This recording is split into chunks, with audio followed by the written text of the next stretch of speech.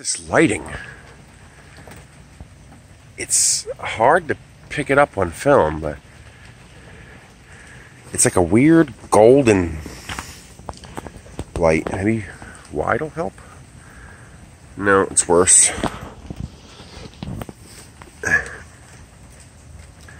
It's very cool. we got a rainbow over here. It's a full hemisphere rainbow too. It goes from one arc to another, all the way back on both ends.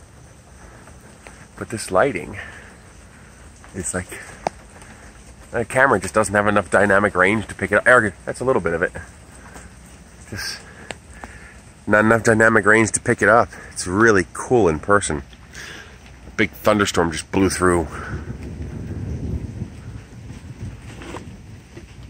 Saying goodbye. very, very cool lighting though. I wish I can I wish I could pick this up on film.